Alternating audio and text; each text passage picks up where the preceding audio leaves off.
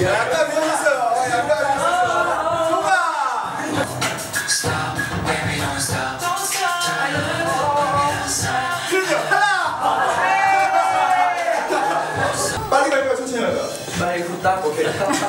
있습니다. 하나, 둘, 셋. 시작하. 국정 세트랑 합방하고 있었어요. 내가 누구 없느냐?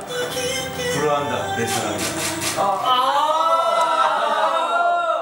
어우 야. 진짜 오랜만에 이렇게 팬 여러분들과 직접 만나지 못하지만 이렇게 방송으로 만나는 거였는데 여러분이 많이 행복했으면 좋겠습니다.